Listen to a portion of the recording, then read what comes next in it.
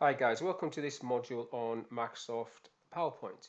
In this module we're going to look how to use sections, we're going to look at how to export into Word to create handouts, how to package a presentation for CD so you can move it onto different computers, and how to create a video. But first of all, sections. Now on the Home tab you have the option to create or add a section which I'm going to just click on a couple of slides um, to highlight a few slides first. You don't need to do that, but you would have to add them later on. But if I now call this British, for example, and rename that, I have all these slides as British. I've got a default section for the title so I'll just call that general. Rename that. And then I need to create one for French so I'll just um, click on a French slide first off. Find a French slide so further down there she blows. And click on a few slides and add section. French rename so I've got three slides in the French section and I've got all these into the British section and then general. And if you need to move things around from one to another you can just drag them into different sections to push that down into French like so. And then you can collapse these down just to look at the summary like so.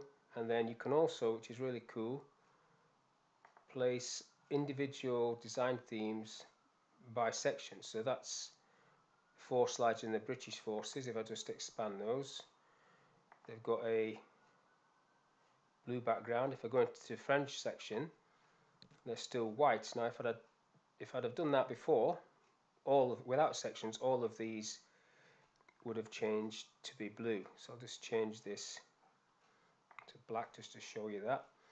So there you go.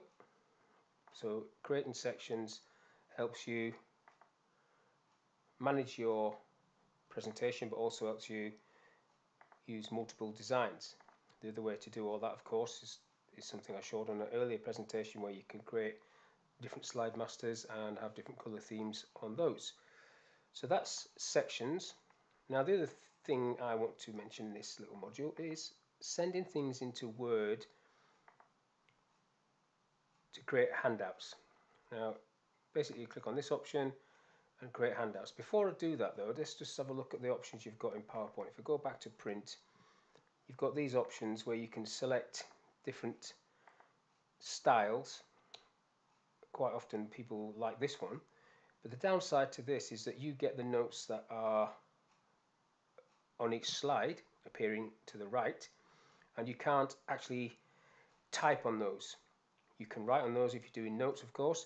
But if I send this into Word, what it creates in Word is a Word table. If I just click on that, let's see if it, let's see if it goes. It creates a Word table which you can link. So if these slides change, the changes will be shown in Word.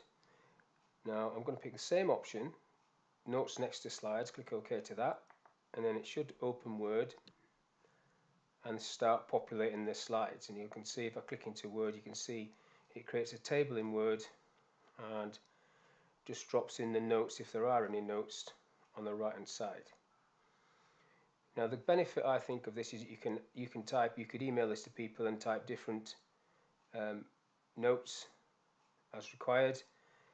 If you've got it linked like I do you can change things on this slide and that will affect the Word document.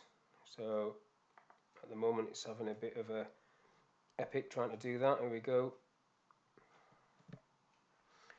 It sometimes does take a little while for it to populate, but there you go. That that is the PowerPoint in Word, and you can see there that I have notes already, but that's not that wouldn't stop me adding additional notes on these next to these slides if I required. Now if I go to a slide that hasn't got much information on it and just like through the title slide, so let's have a look at that for a second. If I go back into the presentation go on to Waterloo, the title slide, and let's just type some text, some random text next to the date, and go back into the Word. Can't actually see that there, so I'm just going to press F9, and if I zoom that in a little bit, you should see that that actually updated, and you can see that that text that I've typed there. I've only done F9 because I've not saved this document. If I'd if I had have saved this document and then reopened it, it would automatically update, um, having asked me first of all if I wanted to update links. But it's a great little feature if you if you send in that to students or it's in the shared drive somewhere, people can access that. They've got the most up-to-date slide package. So let's just close Word down. Don't save it. Back into Waterloo. Let's have a quick look at package for CD. So one of the big issues you have with PowerPoint is if you've got embedded documents like Excel spreadsheets or video, when you do file save as, those, those documents don't come across with the file save. You have to embed them in this package, package for CD, which is a bit a strange name because really you can save it as a folder. So I'll just create this and you can see how it works. So package for CD, it gives you the option of copy to folder, so I'll just call this Steve and copy to folder as opposed to a CD. Folder name is going to be Steve. It's on, I don't want it in documents. I'll put it on my desktop so you can see it on the desktop. Um, yeah, okay, that'll do. Open folder when complete. Yeah, okay, and then it's telling me that all linked files, if there are any, will be copied. So I'll have a copy of it. And do I want to include it basically? Yes, I do. I don't think there are any linked files, but let's just go. Now what this would mean is that you would better run this PowerPoint presentation on any machine, even if it didn't have PowerPoint, because it has the, the ability to open also if you've done this in a, a new version of PowerPoint and you're opening it on a computer with an old version of PowerPoint, you'll still have the ability to, to show the new features. Um, I have been caught out many, many times by not doing this, by just saving PowerPoint presentations to a stick and then pushing it into another computer and then finding when I get there, half the things are not there. So you'll only do it a few times and then you'll remember to uh, use this feature. So I'll just cancel that off for now quite easy enough to do. In the old days, you used to have to put loads and loads of floppy disks in, showing my age there, but that was a really, really laborious process.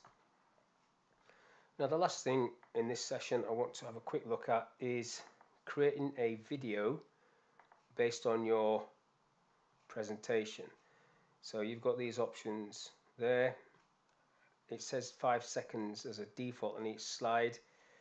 Now, I might stop this halfway through because this is quite a long process but all you need to do is click on create video and again I'm going to put this onto my desktop so you I can get rid of it it's going to create an mp4 there save